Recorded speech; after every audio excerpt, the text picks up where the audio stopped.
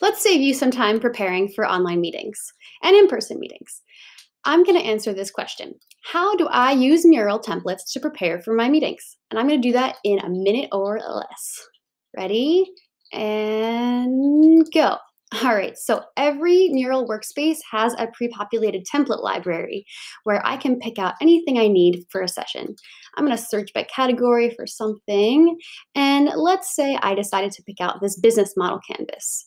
So I would click it, and I get something like this. I can preview it before I start. Now, I wanna create a mural from this template.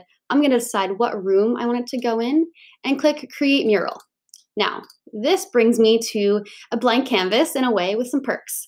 Basically, I like to unlock everything when I'm starting to work in a template that I've created a mural from. And here we go. I can move this, make this smaller, delete, and then I can even extend the canvas out so I can add other frameworks in. So you can see I have a pretty solid foundation that I already mm-hmm. have available to me to build a workshop successfully in no time. So, whew, one minute, that was quick, right?